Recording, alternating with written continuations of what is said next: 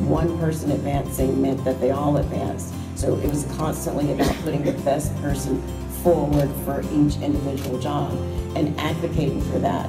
And uh, in the film throughout, you see a lot of advocating. You see Kevin advocating, or Kevin's character, advocating for Taraji's character. You see, um, you see John Glenn advocating for Katherine. So, you know, advocacy begins with you, the individual.